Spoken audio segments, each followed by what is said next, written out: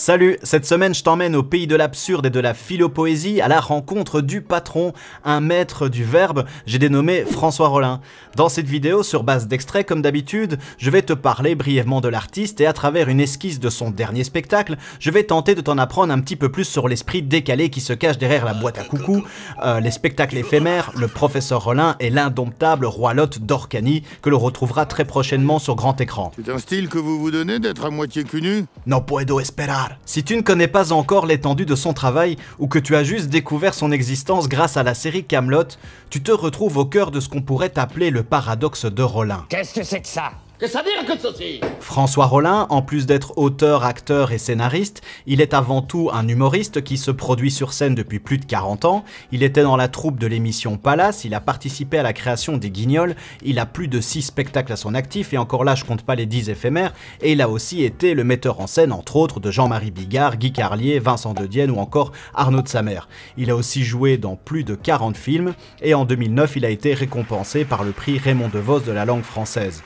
Il est considéré par le métier et par la profession comme le patron, et malgré qu'aujourd'hui il influence encore beaucoup de jeunes humoristes, en 2017 il a annoncé qu'il se retirait de la scène parce qu'il n'arrivait plus à s'en sortir économiquement parlant.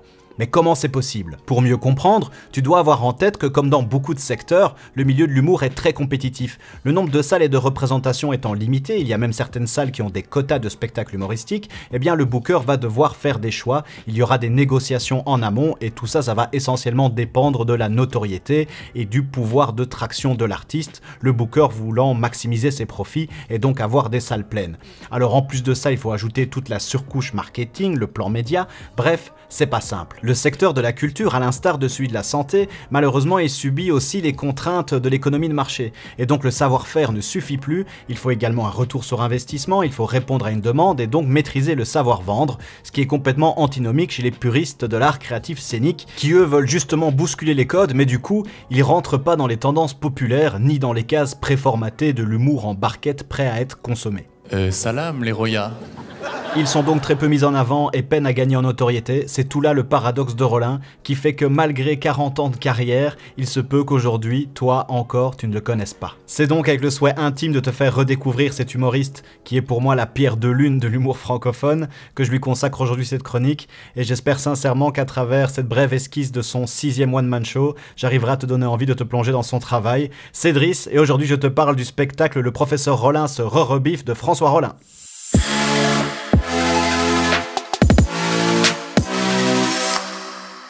Le professeur Rollin se re-rebiffe, c'est donc son dernier one-man show. Nous sommes en 2017 et François remet en scène son fameux professeur dont le titre honorifique n'a d'égal que son talent pour répondre avec justesse à côté de la question qu'on lui pose. Ce personnage avait été créé à l'occasion de la série Palace en 88 où sur le temps d'une minute, il nous donnait une définition savante d'un mot ou d'une expression courante. Le professeur a toujours quelque chose à dire.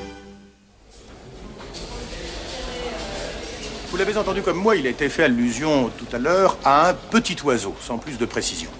Il s'agit probablement du bouvreuil, qu'il ne faut pas confondre avec le lagopède des Alpes, car autant le bouvreuil est très présent sur les foires et marchés, autant le lagopède pas tellement. Dès lors qu'on s'est bien mis ça dans la tête, il faut savoir que le principe de fonctionnement du bouvreuil est très simple. Deux tiges métalliques couplées tournent autour d'un axe horizontal et supportent deux plateaux en cuivre sur lesquels on dépose des marchandises. Lorsque les deux plateaux sont à la même hauteur, on dit qu'on a atteint la position d'équilibre. Voilà. Il n'y a rien à ajouter à cela, on a peine à imaginer quelque chose de plus simple. À la réflexion, je me demande si je ne viens pas de donner plutôt le principe de fonctionnement de la balance de Robert Val. C'est assez contrariant a priori, mais gageons que le principe du bouvreuil ne doit pas être ni tellement, tellement différent, ni franchement, franchement plus compliqué. Bonsoir. Merci, professeur Rollin. Ce côté décalé, euh, mêlant absurde et effet de rupture, bien qu'il ne soit pas prépondérant sur la scène humoristique francophone, c'est quand même une forme de style qu'on peut retrouver assez régulièrement. T'as pu en voir euh, en partie chez les inconnus, euh, les Robins des Bois, Éric Judor, Ramzi Bedia ou encore peut-être plus récemment Monsieur Fraise et Arnaud de sa mère. C'est un héritage direct de l'humour dit British avec en figure de proue les Monty Python. Petite parenthèse plaisir. La parenthèse plaisir. Si t'aimes bien les Monty Python et que tu connais pas la série Little Britain, franchement fonce, tu vas te marrer. C'était la parenthèse plaisir. Avec les années, le professeur a évolué pour devenir cet éloquent conférencier qui va pendant plus d'une heure euh, nous proposer de réexplorer les mécanismes qui mènent à la joie ainsi que les méthodes pour en entretenir les rouages. Noble projet. Cette quête sera entrecoupée de questions, issues d'un courrier des lecteurs fictif, tout adressé au professeur Rollin bien évidemment, auquel il répondra parfois avec justesse ou mauvaise foi, avec euh, affection ou condescendance, euh, toujours en oscillant entre la logique et l'absurde. Question de Joseph de Champigny-sur-Loire. Professeur, est-ce que la nature a du talent? Non, aucun, aucun. J'en ai administré la preuve à ma courte honte en 1961.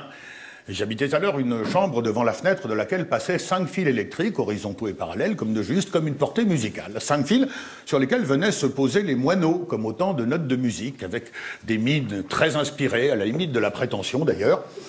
Alors, j'ai pris une photo, et puis j'ai claqué dans mes mains, les moineaux se sont envolés, puis ils sont revenus, j'ai pris une deuxième photo, puis j'ai reclaqué dans mes mains, les moineaux se sont renvolés, puis sont revenus. J'ai pris une troisième photo et j'ai procédé de la sorte 50 fois de suite. Après, j'ai aligné les 50 euh, photos et j'ai demandé à un grand pianiste de bien vouloir me jouer la partition ainsi constituée. Le résultat était pitoyable. Une cacophonie sans le moindre charme, au point que j'ai finalement regretté de ne pas avoir, à la place de l'appareil photo, utilisé une carabine. Alors on reconnaîtra tous l'académicien passionné qui limite d'ailleurs avec brio et qui n'hésite pas à nous présenter son avis comme étant une réalité scientifique. Alors évidemment, la pensée poétique résumant l'absence de talent de la nature au positionnement stochastique des moineaux sur du câblage électrique, c'est complètement absurde, mais franchement c'est séduisant, c'est intelligent, et en plus, ben, la caricature du corps professoral n'est pas tellement loin de la réalité. Ces gens-là qui sont très cultivés, experts dans leur domaine, leur statut et leurs antécédents leur confèrent parfois une sorte de sentiment d'illusion de toute clairvoyance, eh bien de temps en temps tu as l'apparition d'un biais cognitif qui sème le trouble entre ce qui provient de leur perception subjective et ce qui ressort de la réalité scientifique. On a d'ailleurs eu récemment deux beaux exemples avec les déclarations du professeur Raoult et celles du professeur Luc Montagnier. Le point fort de l'humour absurde et des digressions surréalistes, eh bien c'est que les chutes sont complètement imprévisibles et donc l'effet de surprise sera d'autant plus grand. Alors évidemment, cela demandera une attention particulière, un goût du style et d'ailleurs si tu as une passion pour l'ornithologie, avec le professeur Rollin, ça ne sera pas inutile. de Champigny-la-Forêt, quels sont les ouvrages majeurs concernant la perdrix mhm. Oui, ben, il est important en effet de faire le tri parmi les milliers d'ouvrages concernant la perdrix et le perdreau. Tous ne sont pas sérieux. Certains sont même carrément fantaisistes, je n'hésite pas à le dire. Bon, on peut en citer cinq. Je pense que c'est suffisant pour une première approche. Alors, en commençant par euh, l'excellent livre de Gérard Thibaudin, Je chasse la perdrix un guide pratique, euh, très pratique et très documenté, dans lequel Gérard Thibaudin nous raconte comment il euh, chasse la euh, perdrix. Et puis, peut-être en réaction au livre de Thibaudin, Antoine Le Sourd a écrit un ouvrage admirable intitulé Je chasse les perdrix. dans ce livre, Antoine Le Sourd démontre, exemples à l'appui, qu'il n'y a pas qu'une seule perdrix sur la Terre, et qu'il est donc absurde d'écrire, comme l'écrit Thibaudin, je chasse la perdrix, puisqu'alors une fois l'unique perdrix chassée, ben, il n'y a plus rien à chasser. Hein. Antoine Le Sourd estime donc que seule la formule je chasse les perdrix est intelligente. Et puis, en réaction cette fois au livre d'Antoine Le Sourd, Gérard Thibaudin a écrit un second ouvrage, un peu polémique, c'est vrai, mais euh, d'une lecture agréable, intitulé Je chasse la perdrix morte. Euh, ben, Thibaudin répond en quelque sorte à Le Sourd en affirmant qu'une fois l'unique perdrix chassée, il est parfaitement possible de chasser indéfiniment la même perdrix, mais morte. Voilà. Une thèse audacieuse, mais finalement assez convaincante. Quatrième ouvrage à consulter, c'est la réponse d'Antoine Le Sourd Je chasse la perdrix morte de Thibautin, intitulé Thibautin est un charlot. Bon, il est principalement question de Gérard Thibautin dans ce livre, mais on trouve tout de même quelques passages assez émouvants sur la parade amoureuse de la perdrix. Et puis pour terminer, un ouvrage essentiel, c'est le livre de Gérard Thibautin, intitulé Des cons comme Antoine Le Sourd, ça donne envie de pleurer. Bon, il n'est pratiquement question que d'Antoine Le Sourd dans ce livre, mais on trouve tout de même en annexe, et c'est pourquoi je vous le signale, une recette assez à droite de perdrix au vermouth. Voilà. Très simple à réaliser, pourvu bien entendu qu'on ait euh, du vermouth. Voilà. Mais cantonner le professeur Rollin à l'humour absurde, ce serait nier les multiples facettes qui composent ce personnage sympathique qui n'hésitera pas, avec une diction maîtrisée et un ton sérieux, à laisser transparaître son âme d'enfant malicieux en usant de temps à autre de petites grivoiseries. Champigny en Valois. Professeur, on dit que vous aimez la peinture, est-ce vrai? Bon, on en a un petit peu parlé tout à l'heure de peinture. Alors, ben, c'est-à-dire, c'est compliqué le métier d'artiste peintre. hein. C'est compliqué parce que la plupart du temps, on ne connaît la véritable, valeur d'un peintre que longtemps après sa mort. Ah oui, donc, pour une jeune femme, par exemple, qui a une relation amoureuse avec un peintre nettement plus âgé qu'elle, eh ben, il va falloir qu'elle attende encore 50, 60 ans pour savoir, pour savoir si elle est entrée dans la légende en étant la muse d'un génie ou si elle a simplement sucé un vieux. C'est pour ça que c'est compliqué, une femme. Et c'est là toute la magie de cette prestation. On sait jamais sur quel terrain il va nous emmener, alors de temps en temps il va réussir à nous faire rire avec des structures de blagues plus classiques, qui par exemple sortant de la bouche d'un Jean-Marie Bigard, bah, ce serait comme une vanne en plus, mais qui provenant du professeur, en plus de la blague, ça provoque un effet de rupture sur le langage utilisé. Alors outre les réponses loufoques qu'il va apporter aux questions farfelues, et c'est là qu'on va noter l'engagement de l'artiste, c'est qu'il va aussi répondre à des questions beaucoup moins triviales. En effet, certaines questions porteront sur des sujets plus sensibles, comme l'identité, l'islam, l'homophobie et le racisme, et ce qui est vraiment intéressant, c'est que la façon dont sont formulées les questions est vraiment différente de ce qu'on a l'habitude d'entendre. Elles sont empreintes d'inquiétude, vues sous un angle que certaines personnes jugeront non acceptable, eh bien, c'est conscient de cela que le professeur va prendre le temps euh, d'écouter et d'y répondre, considérant que tous les avis méritent d'être pris en compte. Alors ça, ça vient d'un combat plus personnel. François Rollin voit en l'humour le poil à gratter du système, cette forme d'art qui permet de transcender les perceptions normées dans lesquelles l'homme est circonscrit et qui permet aussi de passer au-delà des frontières et des barrières liées à notre conditionnement moral. Et euh, à l'instar de Ricky Gervais et de George Carlin que j'avais traité dans deux chroniques précédentes, il va utiliser son personnage pour bousculer euh, ces idéaux dogmatiques qui, selon lui, répriment la pensée humaine. Alors euh, Ricky et George, eux, faisaient un focus généralement sur la religion. Jérémy Ferrari avait par exemple parlé, euh, pris pour cible, de l'homéopathie. Eh bien, euh, pour François, sa chimère, c'est la bien-pensance. Je vous raconte une petite anecdote. J'animais l'an dernier à Champigny-sur-Glace un colloque sur les manipulations génétiques à visée ludique. Et. Quoi? Ah oui, d'accord, oui. Ben, c'est vrai qu'il y a dans cette phrase quatre informations, dont trois sont superflues, parce que l'an dernier, euh, ça n'apporte rien. Euh, Champigny-sur-Glace, bon, ben, on s'en fiche, puis le sujet du colloque, euh, aucune importance non plus. Bon, non, la chose à retenir, c'est l'existence d'un colloque. En vertu de quoi je fus amené à un moment donné à distribuer la parole. Et donc, au bout d'environ une demi-heure de débat, pour donner la parole à un monsieur, j'ai dit tout simplement Oui, le monsieur noir, là, on vous écoute. Et à ce moment-là, une dame s'est levée de l'autre côté comme un sale homme, ce qui n'est pas facile pour une dame, et s'est écriée Comment pouvez-vous dire des erreurs pareilles? Ce sont des propos racistes. Vous stigmatisez ce pauvre monsieur. Je lui ai dit Madame, votre intervention est une manifestation typique d'un fléau des temps modernes qu'on appelle la bien-pensance. Madame, j'ai dit le monsieur noir, exactement comme j'aurais dit la dame au chemisier bleu ou le jeune homme à lunettes. En le disant, je crois n'avoir trahi aucun secret. Ce monsieur savait déjà qu'il est noir. Il vit très calmement avec ça depuis assez longtemps, je pense, depuis sa naissance probablement. Oui, il me le confirme. Alors, évidemment, madame, si j'avais dit oui, le gros là, ou bien oui, on vous écoute là, la moche, le laidron, le cajot, le ton, vous auriez pu, madame, me parler de stigmatisation, mais la couleur noire n'est pas stigmatisante, pas plus qu'un chemisier bleu ou qu'une paire de lunettes. En somme, madame, vous pensez avoir volé bravement au secours de ce monsieur, c'est ça?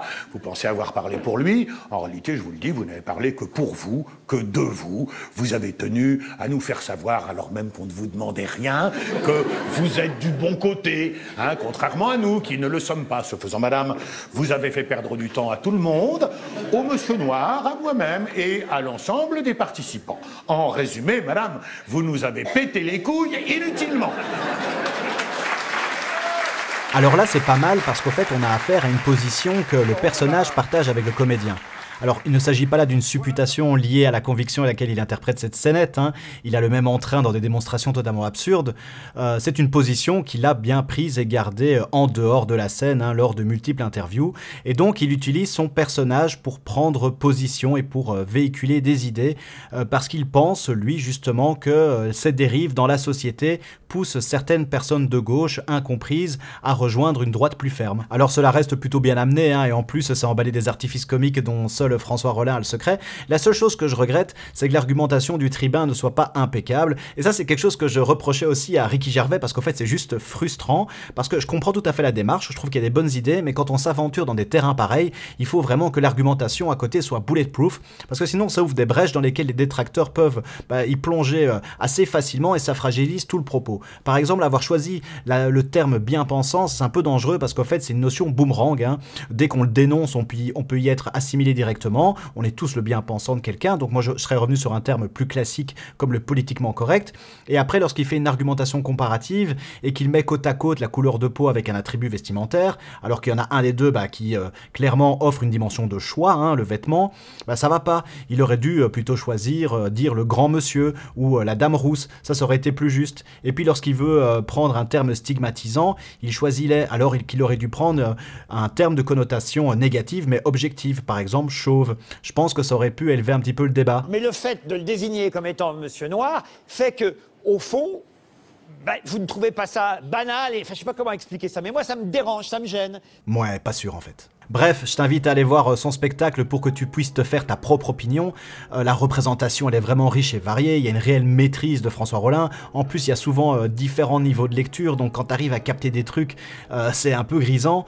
Et puis, bah oui, il part souvent dans des délires surréalistes, mais il arrive à nous embarquer avec lui. Et par exemple, à un moment, il parle de la création d'une échelle d'injustice. Enfin, moi, je trouve ça juste exceptionnel. Alors, j'entends souvent dire, oui, les spectacles de François Rollin sont pas facilement accessibles. Ils sont réservés à une élite intellectuelle. Euh, si on rigole pas, c'est qu'on comprend pas. Si on comprend pas, c'est qu'on est con. Et en plus, les gens qui sont généralement imperméables à ce type d'humour, ils n'y voient aucune intelligence. Donc ça crée vraiment de la frustration. Faut-il aimer les endives cuites ou crues? Vous répondez cru, bravo, cuite, zéro. Ah, malheureusement, les gens riaient, moi je riais pas. Alors ouais, bah voilà, c'est le genre de réaction typique.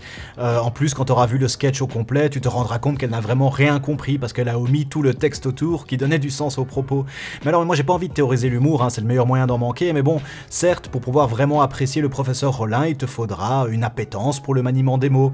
Et puis, euh, l'imprévisibilité euh, de l'humour absurde t'obligera à être un petit peu plus attentif, vouloir repérer les petits effets comiques, les petits effets de style. Mais bon voilà, moi c'est comme dans tout, hein, lorsqu'il y a un effort à fournir, je trouve que le résultat est d'autant plus jouissif. Alors c'est vrai, si tu veux vraiment pouvoir tout comprendre, un petit peu de culture ne te fera pas de mal. D'ailleurs j'en profite pour te montrer les deux tableaux euh, dont il va parler au début du spectacle, mais franchement, franchement, c'est loin d'être indispensable. Ton adhésion ne dépendra donc pas de ton intelligence, mais plutôt de ton ouverture d'esprit et de ta sensibilité à la mélodie de l'absurde et à l'humour expérimental.